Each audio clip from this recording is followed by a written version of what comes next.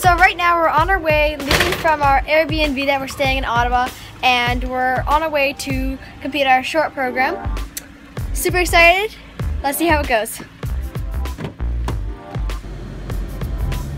We're almost at the rink and I'm so pumped for this short program. I can't wait to just show them what we've got.